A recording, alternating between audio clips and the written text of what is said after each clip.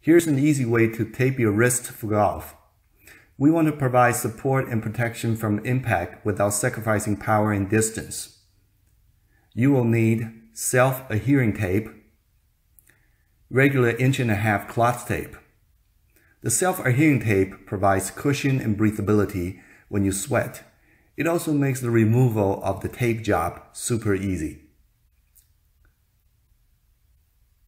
First, you want to hold the tip with your little finger.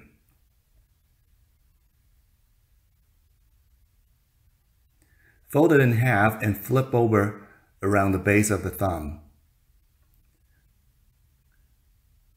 Then loop a few times.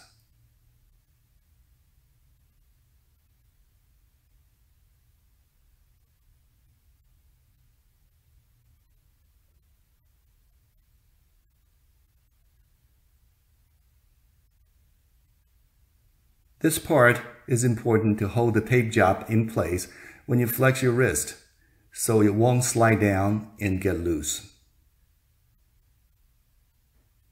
Then we take the cloth tape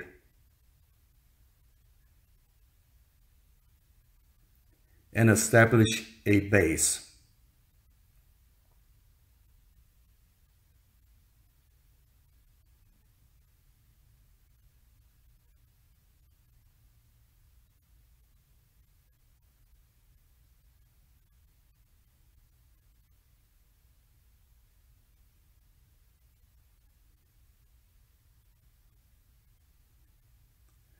This middle layer is optional. It adds more support if you need it.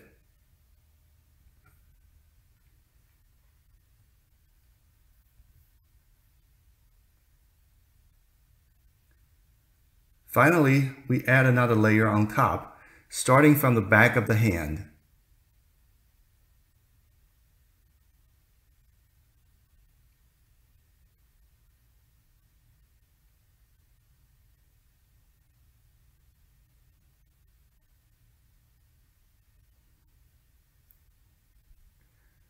Remember to leave a small V-shaped gap.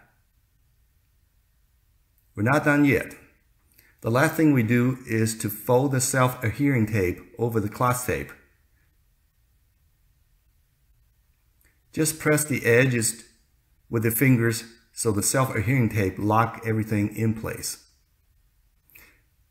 If you don't do that as you take the glove on and off, you will unravel the tape job and now you're ready to go.